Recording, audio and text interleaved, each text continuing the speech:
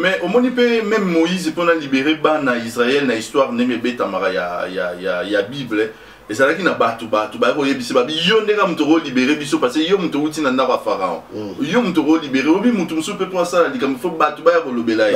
balamusa ye mais soki otali na, na bareseau sociaux na biso combien de bato baosengaka esindika bikisa biso epuis landa nkombo na ye esindika eza lokola emmanuel eya lokola mobikisi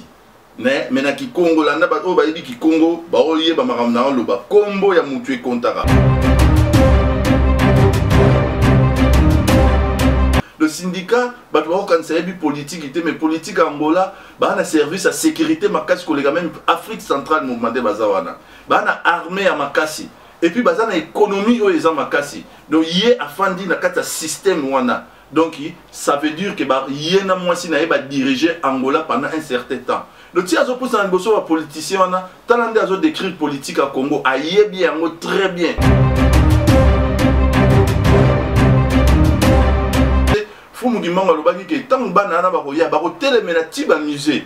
namoni bamarche esalama basitine esalama liboso ya baambassade maintenant namona sitine te liboso ya musée à part biso bato toza bapremière tozwa initiative wana koya kotelema liboso ya musée ya telvue reine peuple aza na mposa na ye ata ye aboyi mais peuple soki lelo ye alobi atya candidature naamona moto akobattre ye na kati ya congo aza te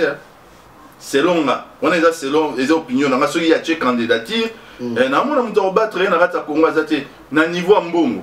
na niveau ya mayele na niveau ya bapouvoir oyo asaleli bakoko na biso koramene babiloko bamindele bayiba bacolon bayiba mais Na moment oyo ekokoka, bato bakosutuka na eloko sindika osala na Congo.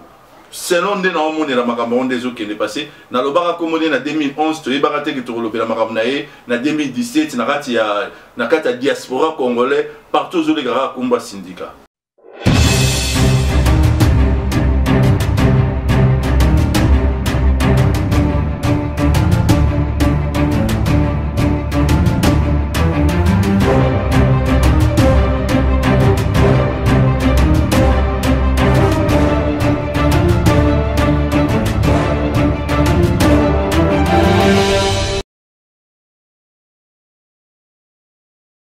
Salut, c'est moi, votre sœur Nissa, ya 100% grâce. Naye lisusu epa na bino ya mbalo na good news mususu. Bandeko batunaki bakozwa box wana ndeni toza na spécial offre pour 70 livres, 70 livres pona bandeko à Paris nde bolobaka. Ozwi box na yo na ba chaîne ya Congo, toza na B1, toza na ba télé 50, ba chaîne nyonso yo olingi kotala.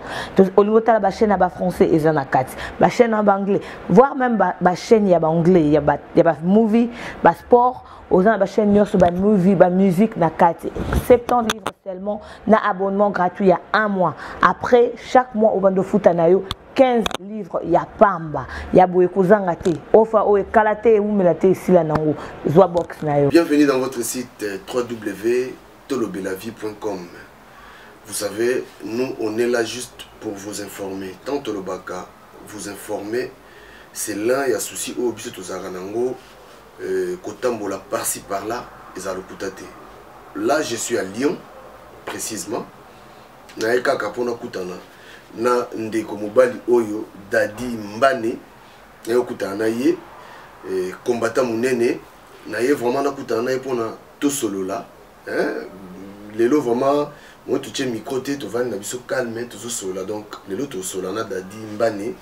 euh, combattant babengaki la jeunesse hein, la jeunesse hein. merci voilà, babengaka ye la jeunesse euh, donc tomeka un peu kosolola na ye donc euh, kozape émission oyo te sans pour autant osabonne na tolobela vie mpo na mbala ya nsima ozwa encore ba information na biso ndeko dadi mbani bonjour bonjour bonjour euh, gene papi papi gene mère bonjour merci beaucoup euh, na ndenge mbala mibale oyo yamba nga na tolobela vie tolobela vie liboso ozali lokola sacrifice eh, pas ah, yo oza ya nzambe oponama omoni eloko ya nzambe baforsaka yango te donc yango lelo tolobela vie nani akoloba coin ti coin tolobela vie tolobela vie eza ya biso bilenge tolobela vie eza ya bino bapapa bamama oyo bootala biso na ndako ezosunga biso na makambo ebele ezosunga biso na social ezosunga biso na culture na biso na bateatre na babiloko ebele euh, na biso mpe na politike donc ezosunga biso na makambo ebele alors eloko oyo tout jeune azosala oyo ezokosunga mpo na communauté na biso oyo eavance mpo na peuple congolais peuple bantou avance nga vraiment nayaka kotya port na yango yango nalobi mpena nzambe asunga tolobela vie eh, merci ndenge oyambi ngai esumba mibale vraiment papi bon tomeka kosola mbala moko parce que omoni eh, bino so toyambi bino tokotaka mbala moko yo oza vraiment combattant ya monene oyevaka mingi mingi na londres déjà évolution combat eza ndenge bon combat na, na ndenge combat ezokende positive évolution eza vraiment ezokende na positive makasi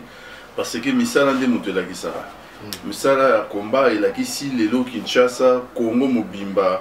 bayebi eloko nini ezoleka na mboka na bango kouta na kivu na katanga na kisangani euh, na bakongo na kinshasa na kasai partout na bandundu vraiment na equateur kuna euh, congolais nyonso tu aza ya kolamuka aza kolamuka parce que biso tolamukaka déjà à partir ya londres mm. depuis toyebaka makambo oyo ya mwana oyo tobengi mwana ndeke euh, kabila kanambe euh, na mabe oyo abandaki kosala tozwaki conscience et puis to conscientiser batu oyo bazalaki na diaspora lokola diaspora moto elesaka congo diaspora moto ekoma social mpe ekoma gouvernement ya congo alors euh, bandeko nyonso ntango ya diaspora balamuki congo mpe elamuki donc yango olakisaki mosala combat eza mpenza na positive makasi bongo bato bazoloba mingi mingi kino komba kuta ah, komba ekufa komba ekufa mpo apparemment mpe tokomona mwa badivision ezali oyo aza moto ya koto koma moto ya koto oyo nayebi te yo étant grand combattant parce que vraiment okoloba na bato wana nini balobaka keno komba ekufa komba komba ezali komba eza vraiment komba eza na ezali Parce que kufa te tant baloba komba ekufa parce que baloba omona deja komba hmm. soki ezalaki eloko moko ezalaka te ekufa obeni baloba mpe te komba ekufa komba ezali mais badivergence ezali omoni ntango bokoli meme na kati ya ndako ekomaka bana mosusu babimi na ndako bakoluka place na bango ya kofutela ubi asombi mpe lopango na ye bato bakoli bato mosusu baza na kati ya komba ngai nakoti komba na 2007 mm. donc euh, soki tolobi na 2007 ti na moi ya lelo esali ngai ba 10 ans mm. mais eza na bato nakutaki na kati ya komba mpo ngai nabandaki komba te nakutaki bakulutu oyo bazalaki oyo babatizaki ngai nkombo ya dadi mbani la jeunesse mm. donc ba, bango bazalaki deja bavieux mm. bajeune mpe ebele bakoti ya c'est normal divergence ezala bamisusu mpe bawela mpifo nano akomi te mais akomi oraisonne déjà ke akomi président eh, aza mpe na mwa groupeski na ye babengaki président mm. amoni ke nga nga nakomi na nga président bamosusu mpe eh, mpiaka atali boye ah, mais kote kuna baoka balar nga mm. ndeni nafanda boye ake na ye kote mm. la mais azomibengaka komba donc komba mpenza eza komba komba mpenza eza en forme epuis kala mingi te kutu eh, mosala nyonso mpe tokosala resultat na yango ezokokisama eh, nandimi te ke eh, ennemi na biso oyo toidentifie ennemi na biso commun nandimi sur te ke aza lisusu na pouvoir oyo azalaka na yango liboso donc kala mingi te makambo na ye ezosila ozomona makambo ndenge nini na lire oyo makambo ezokende est ce que vraiment élection ekozala parce que jusque là toza nano mpenza toza toza kotepatepa mwa moke est ce que vraiment élection ekozala te papi so nayebisi yo élection ezala eza lokuta élection ezala te mpe élection etikala mpenza kozala na mboka wana te mpo to eyana ezalaki bamascarade epesa légitimité na kabila ameka kofanda ameka kosala bamisala ne azalaki ya kosala yango bacreaka eloko wana élection depuis makambo tooloba baélection élection etikala kozala na congo te Parce que l'élection ezalaka na Congo, Jean-Pierre Mbemba alinga azala na CPI te.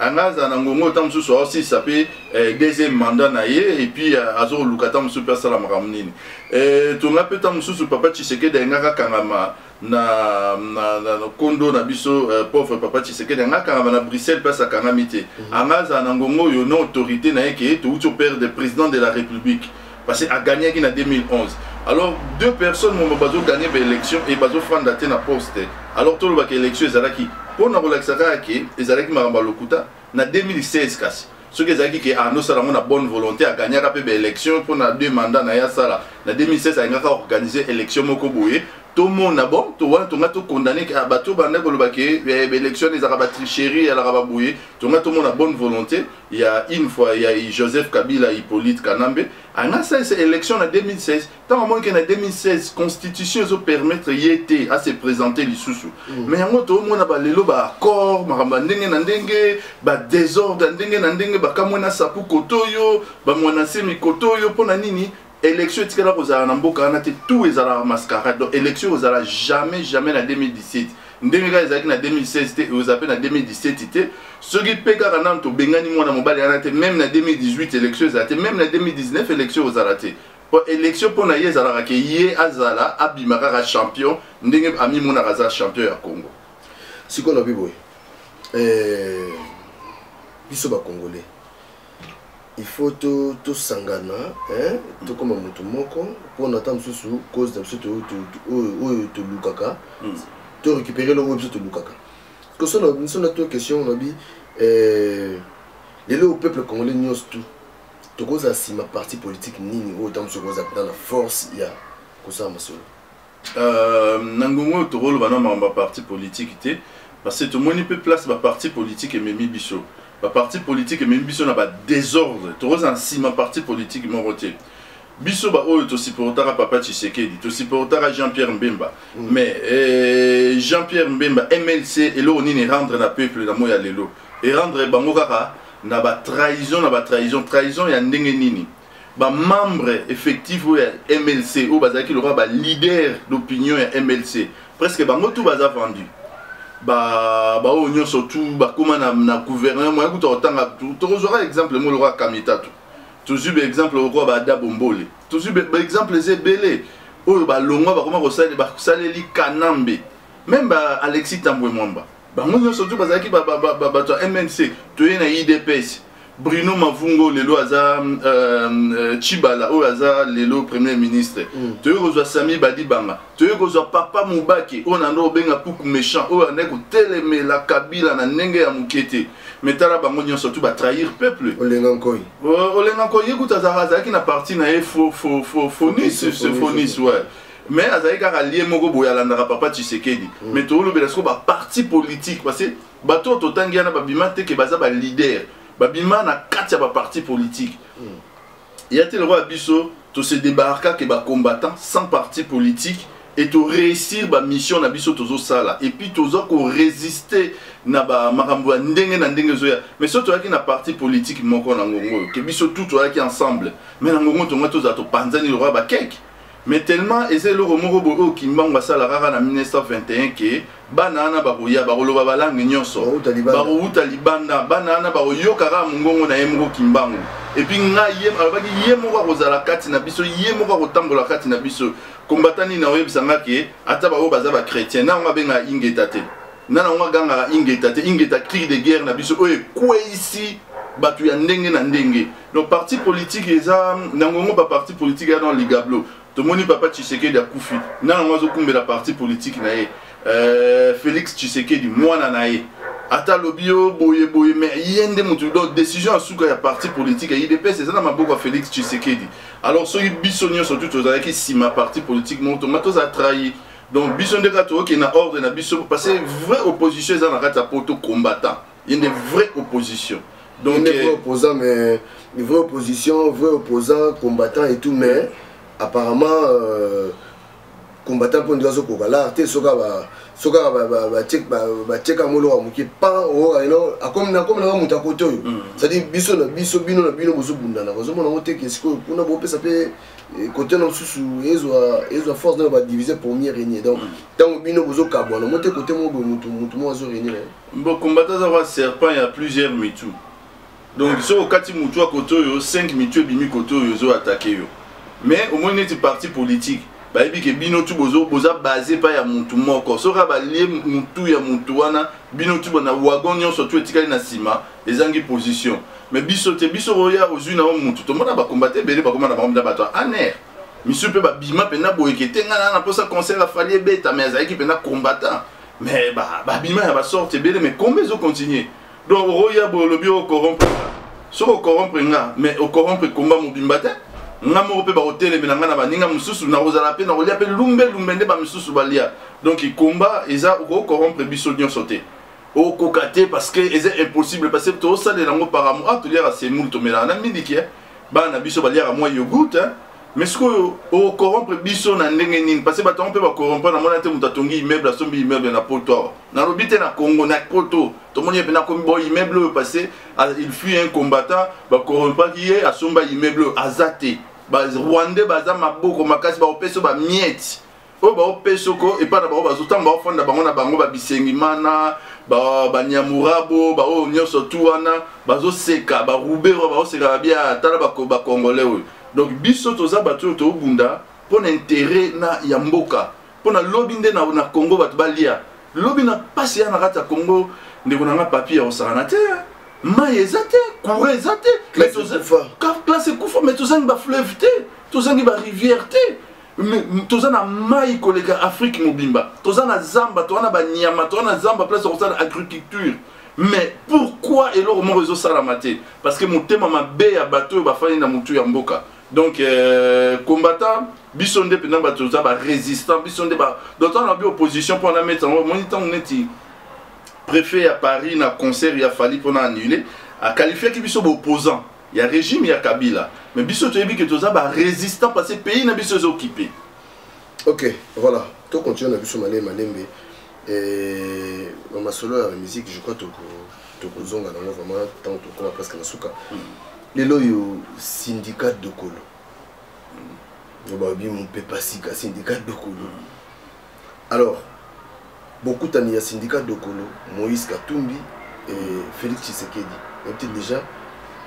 fusion wana omoni yango ndenge nini trio wana nde bakutani omoni yango ndenge euh, syndicat d'abord nga nazala na respect makasi ya syndicat eza nanu te parce que nanu kuta ye na politique na biso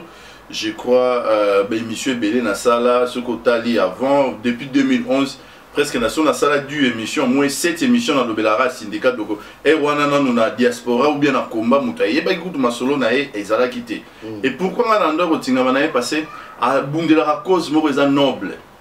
cause oyo ya ba ya ba œuvre d'art na biso oyo bayiba oyo ebima na mundele parce que yango nde place colonisation mpo bapesa biso colonisation mpe civilisation il fallait bazwa bobiso ntango bazwi bobiso alors yango omona ba civilisation baye ko civiliser biso ba coloniser biso parce que si bazwaki ba si bazwaki ba mm, pouvoir ancestral na biso alors ye abimaki avant nano aya kuna kati ya makambo ya combat oyo couleur ne ya bandaki kolakisama aza kokende ko combattre ko récupérer ba œuvre d'art na biso biso na 2000 euh, na 2015 tokendaki kotelema liboso ya musée ya telvue reine tosanganaka le 6 juillet euh, 2015 tosanganaka na baninga bruxelles baninga mosusu wana na france tokendaki koproteste ko mais avant protestation wana nasalaki interview moko na ndeko andreas andaki kotuna ngai napesaki exemple ya syndicat de coronavirus biso Syndicat azosala ba biloko wana na niveau moko aza na mbongo aza na pouvoir ya ko affronter bato wana na niveau ya ba tribunaux na niveau ya, ya même ko acheter ba biloko wana oyo bato wana bayiba soki batya yango ntango mosusu na vente aux enchères asombi yango azongisi yango na mabele ya bakoko na biso soki akoki kosomba te aza komema bango ntina ba tribunaux basamba arécupere ba, ba œuvre d'art na biso ancestrale mpo eza na pouvoir moko boye bandeko na ngai ntango mosusu naoloba bomingi baokapte ngai nanu te parce congolais akaptaka makambo na retard ndenge amoni mpe sindika na retard asutuki sindika sindika me ngai naozonga nano na base pourquoi na respectaka ye na respectaka ye te mpo na mbongo na ye na respectaka ye te mpo naza bokilo ya eduardo na respectaka ye te nde baprofitere baye baprofite non ngai na respectaka ye na mosala oyo asaleli bakoko parce fumu kimbango alobaki ke ntango bana wana bakoya bakotelemela ti bamusée namoni bamarche esalama basitting esalama liboso ya baambassade maintenant namona sitting te liboso ya musée à part biso bato toza bapremière tozwa initiative wana koya kotelema liboso ya musée ya telvue reine neti mikolo oyo tokotelema na musée oyo ya jacques chirac oyo ezalaka awa na paris bientôt tokopesa badate alors respect wana nde napesaki ye bokoya na ye na kati ya politike mm. politike ya congo eza lokola eza terrain moko glissant azwi aponi bapartenaire oyo akoki kosala na bango politike mais alobi aza na baambition politike te wana baparole na ye moko mm. mais nakomona badéclaration na ye nakomona bakambo aza kokoma na bareseau sociaux eza kolakisa ke wi ata alobi ke aza na baambition politike te mais azosala déjà politike mais nakosala politike wana eza stratégie na ye azoloba toujours naza na baambition politike te mais aza deja na kati ya bain politique parce que komoni pembeni ya katumbi komoni pembeni ya félix tshisekedi félix ayebi makambo ya œuvre d'art te katumbi ayebi makambo ya œuvre d'art te apart makambo ya mazembe ayebi kutu makambo na biso ancestral te ayebi kaka politique mpo na bangindi na moyibi ya mbongo ya politique mais eza différent na ye yango omoni ngai na bike na opesi ye respect makasi mais na kati ya politique bato oyo ye aponi eza choix na ye ayebi eloko azoluka aza deja aza deja descendant ya ya ya, ya bakongo bakongo baza baza na caractère moko différent na biso mpe na kati ya congo parce que mutetela aza na caractère na ye euh, anamongo euh, muluba aza na caractère na ye euh, bato ba ya kivu baza na caractère na bango toyebi mais ye nde aza wana euh, aza na bastratégie moko oyo aza nango mais jusqu'à présent ngai nango pese nao respect et puis nao pese confiance sikoyo nde bakutani bango misato bongo est ce que tokoki kozela eloko moko mpe ya bien esalama parce que tomonaka mpe euh, vital camere félix tshisekedi nani euh, moïse katumbi bakutana mais tokendaka bo sikoyo bango misato biso bakutani trio lisusu ozo comprendre mm. est ce que peuple congolais akozela eloko moko ya bien na nsima ya bato wana misato nde bakutani bongo omoni vital kamere moïse katumbi félix tshisekedi bakutanaka balobi euh, mpasi ya moninga mpasi na yo mais après wana baswani babundi babimisi babétise euh, bamemi biso na baaccord moko ezanga motu na makolo basali soki barassemblement moko ezanga motu na makolo pourquoi parce que c'est baza ba membre moko boye baza ba ba, ba genre batu moko ba opportuniste ba aventurier ti ba na sima syndicat na parce ba opportuniste pourquoi ba yaka na sima na biso te soki lelo papier yo zaki na ba millions ebele ongo mona bato wana nde banga baya na sima na yo donc kaka na ba idée nyonso ozalaka nango balingai baya parce baza ba profiter baza ba aventurier ti baye na nsima sindika mpona ba profite mais sindika na kotala ye boye oyo tobengaka na anglais ba body language na ye a motu moko aye kosaventurie te na masolo wana aye kosa bango nde ntango mosusu bakosaventurie bakanisi ye aye kosaventurie na kopesa mwa historique mwa moke euh, na, na parce naza kaka nanu na makambo ya sindika na ndenge otuni nga eloko nini tokosatandre na sindika mm. omoni ça va faire au moins 4 à 5 ans eduardo le président eduardo oyo na respectaka makasi na angola adirigeaka mpena lisusu angola te na sens nini adirigeaka lisusu angola te parce motu oyo azodirige business angola eza mwana na ye oyo elisa oyo aza mwasi ya sindika ye nde moto akoma kodirige mpena business mpena oyo ya angola papa na ye aza wana parce soki alobi kaotika pouvoir na 2018 donc seke asa travailler pouvoir wana bien ayebi ke azotika angola na maboko ya bato ya malamu donc kidi mwasi wana ya sindika moto azodirige angola na ngongo oyo aza meme ministre ya petrole donc kidi soki mwasi no na ndako moto aodirige eloko donc soki yo mobali na mwasi bosololaka deja na ndako le syndicat bato bakokanisa yebi politiki te mais politiki ya angola baa na service ya sécurité makasi koleka meme afrique centrale mouvement nde baza wana baa na armée ya makasi et puis baza na économie oyo eza makasi donc ye afandi na kati ya système wana donc ça veut dire que ba ye na mwasi na ye ba diriger Angola pendant un certain temps donc ti azopusana liboso bapoliticien wana tala nde azodécrire politique ya congo ayebi yango très bien ayebi ki ye aventurier ayebi ki ye euh, profiteur ayebi oyo azali opportuniste mais Na nguma oyo ekokoka, bato bakosutuka na eloko sindika osala na Congo. Selon nde naomonela makambo yango nde ezokende pase. Nalobaka kombo nde na 2011, toyebaka te ke tokolobela makambo na ye na 2017 na kati ya na kati ya diaspora congolais partout ozoleka kaka kombo ya sindika. Tolobela kombo na ye donc c'est que mingi mingi ye bina ye bina président de la République. Euh, président de la République c'est trop parce que ye moko nanu alobi pe te. ye alobi kaka ke aza na bambition mais omoni mpe meme moïse mpo na libere bana israel na histoire ndenge ebetamaka ya, ya, ya, ya bible ezalaki na bato bato baya koyebisa babi yo ndenge moto okolibere biso parce yo moto outi na ndako ya pharaon mm. yo moto okolibere obi moto mosusu mpe mpo asala likambo fo bato baya kolobela ye balamusa ye mais soki otali na, na bareseau sociaux na biso combien de bato baosengaka esindika bikisa biso epuis landa nkombo na ye esindika eza lokola emmanuel eya lokola mobikisi mais mais na kikongo landa bato oyo bayebi kikongo baoyeba makambo na oloba kombo ya motu ekontaka omona mneke so bapesi yo mpe kombo donc ma mpasi keba mpe bapasi ekolanda yo so bapesi yo mpe kombo eh, ntango mosusu mpe besengo keba mpe bisengo ekolanda yo ye kombo ne sindika aza mobikisi biso mpe peuple tokoloba ke parce que naomona bato lelo meme bato ya paris ko balobi kosangana na bato wana te na bamoïse katumbi te na baboye te parce que baza bato wana na makila na maboko na bango pourquoi peuple aza na souci ya bongo parce que bako otake ye kaka bamo babia yo moyibi parce que batakaka bato nyonso mais ye baoya na kopesa ba conseil kotake kosangana na bato oyo te peuple aza na posa na ye ata ye aboyi mais peuple soki lelo ye alobi atya candidature na amona moto akobatre ye na kati ya congo aza te selon nga wana eza selon eza opinion na nga soki ye atye candidature mm. eh, na amona moto akobatre ye na kati ya congo aza te na niveau ya mbongo na niveau ya mayele na niveau ya ba pouvoir oyo asaleli bakoko na biso ko ramener ba biloko ba mindele bayiba ba colon bayiba des siècles des siècles mwana moko abimi boye mélange ya mukongo na na mundele abandi koya komema ba œuvre na biso ancestrale pouvoir na biso ancestrale oyebi soki babikeko ba bapharaon bato ba, ba, na babikeko bacorps ya bapharaon oyo ezalaka na bamusée awa partout na europe oyebi ntango ezalaka ke egypte azwi yango azongisa yango na kati ya egypte oyebi ke ezalaka grand feti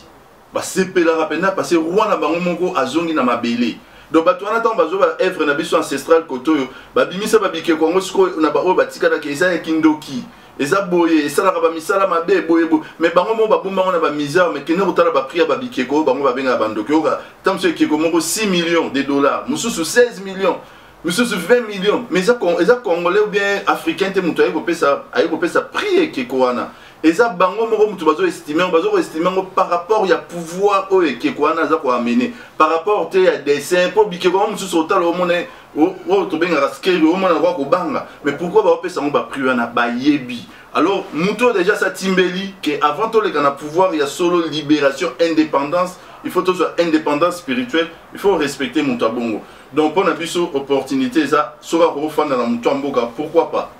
ok voilà donc nde bakutani bango misato bongo cetadire tozela mwa eloko moko ya bien euh, wana mpenza nalobi te parce que deux personnes wana naa na bango sur te moïse katumbi na félix tshisekedi vraiment naa na bango moïse aza so na quatre identité aza claire te motu momba mpo na ye bitumba nde na congo kaka fo nazala président mais wana eza quel genre ya bitumba bitumba mosusu ezalaka nano te tolibere mboka Eh, mboka na biso nini balibera mboka mpe na mwa but te bongo sikoyo yawa libere mboka libere mboka il faut loba mpe bakozi ya but yango toza okipe na barwandais ye deja aza na tutsi moko pembeni na ye mwasi na ye le premier dame na biso ya congo azala su burundais tutsi eh, biso lelo tonyokwami pendant soki 20 ans sous occupation ya juste batutsi ya barwandais nyonso te meme nano batutsi banyongi biso na façon moko et après wana banyongi biso fort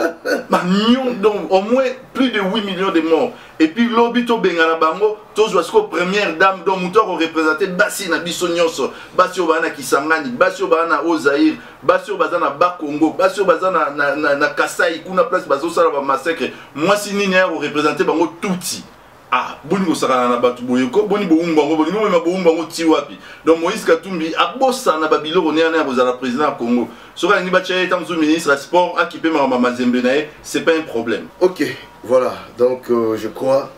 balobi mingi mingi tobwaka miso vraiment pai ya, ya, ya syndicat dokolo avec lui peut-être ça peut aller Et...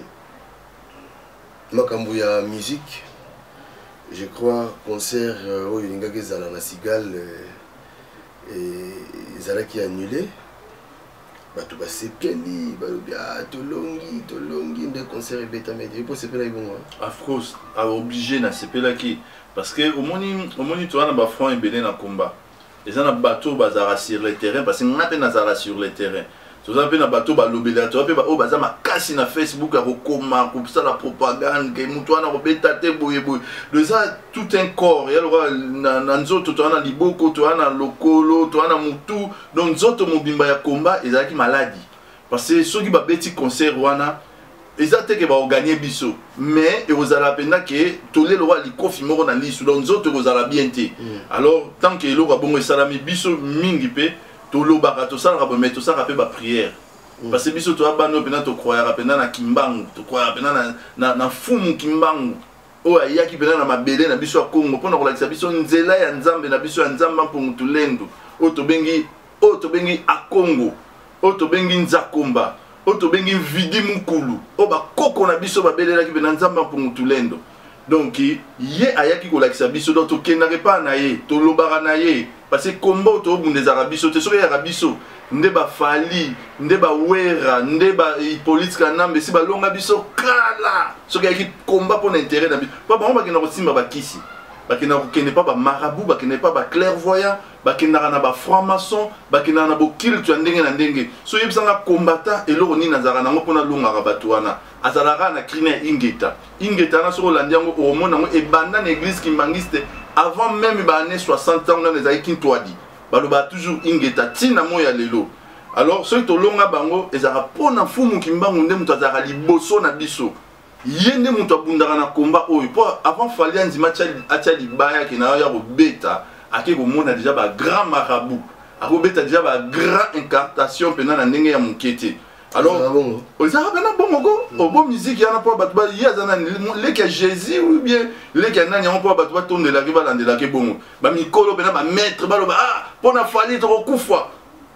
otabe na mokolo aza na mwasi na bana na ndako soit disant ntango mosusu aza maître oliaki na osala ki maître ne ntango mosusu na dojo ntango mosusu wapi azwa mpe bamedaille alata te ma préféré alanda mwana moko ya moke lokola fali maintenant namona bamaître baolanda johnny ya lide na nsima te non namona bamaître baolanda bastar soki jamais ezalaka na biso bacongolais donc omona mdake bandeko na biso bazali so na cerveau te mais oyo peuple ya ndenge nini peuple ya ndenge nini kisi ezwa bango bayaka na bakisi yango ngai nalobaka na fali ke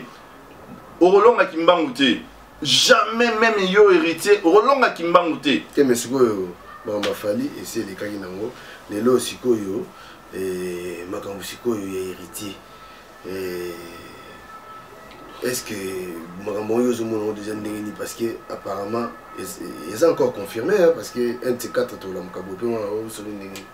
tolala le 15 eza esu mosika te tolala tolamuka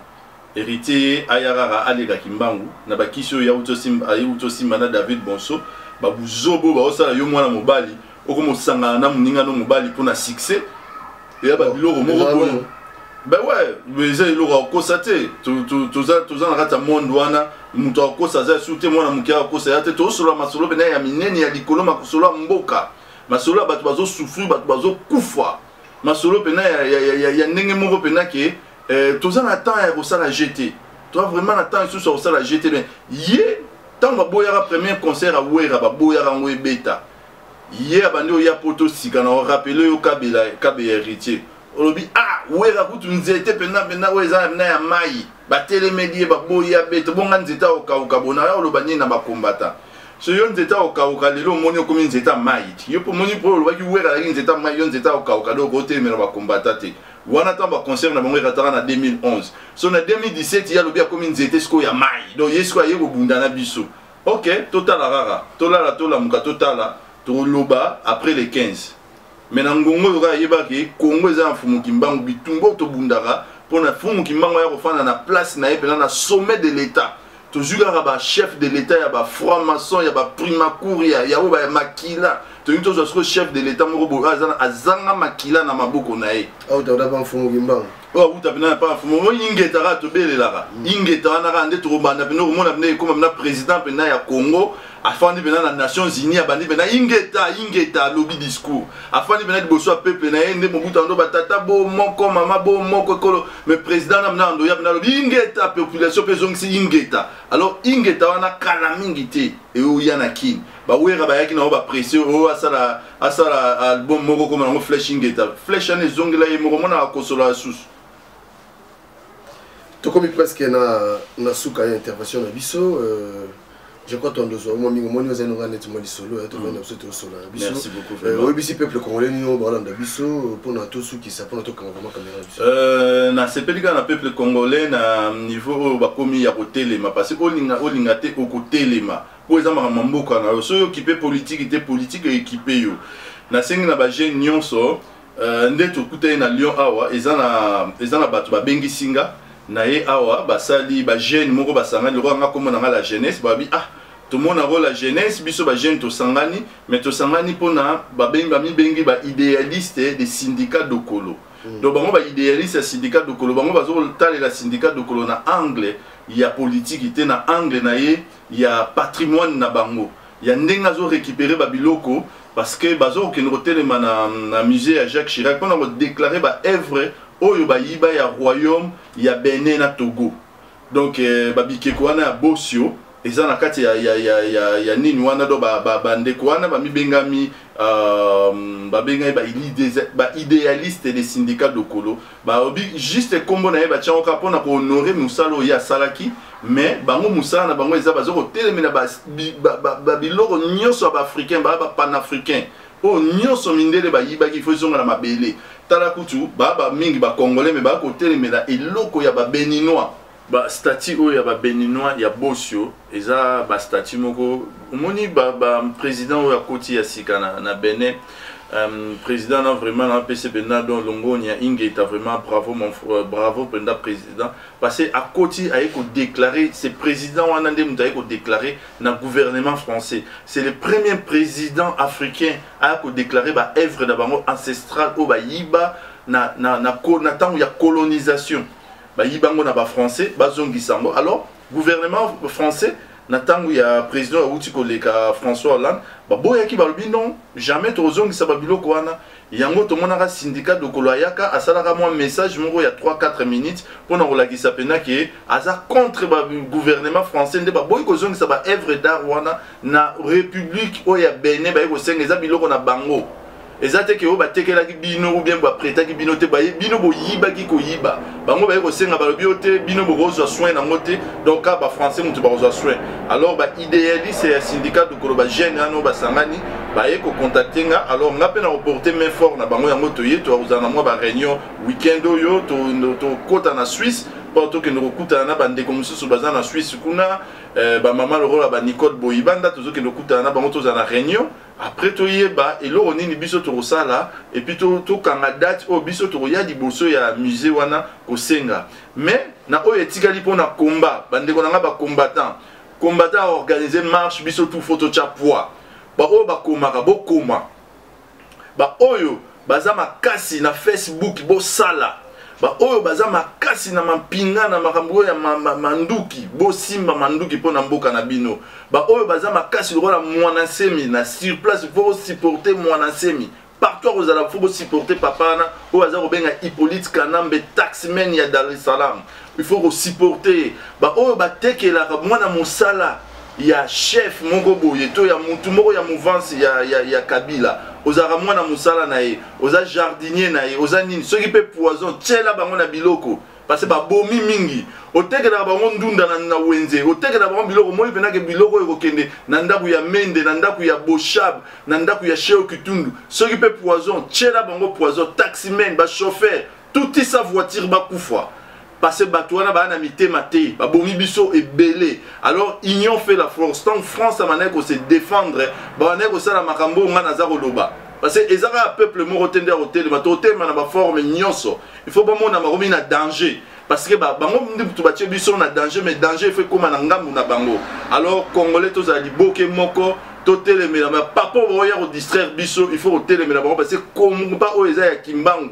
kimbangu kimbangu kimbangu yo na mfumu ya longo oyo tobengi diangenda kutima bino nde boyaki bokiti na se awa bopesa biso nzela ndenge nini tokotambwisa makambo oyo na bakoko na biso nyonso basopa makila na bango mpo na congo wuta kimpa vita wuta bamama mafuta wuta bakoko na biso nyonso tu oyo basangana alors nabeleli milimo nyonso tu ya nzambe oyo efandi na kati na congo na kati na bamai ya congo na kati na banzete ya congo na kati na mopepe ya congo salisa biso tolonga etumba oyo toza nango na biso moko tokokoka te nzamba mpungutulendo yo nde zala na biso yo nde opesaki biso mabele ya congo mabele wana toforsaki te tozala bacongolais mabele wana yo nde moto opesaki biso wuta na mabele ya angola ya congo brazzaville te ya congo kinshasa tozali oyo tobengi rdc biso tozali na mposa bosomi ya mboka na biso milimo ya bakoko na biso boyede biso tolonga na bitumba oyo tozali nango yango nalobi ingeta ingeta ingeta tokolonga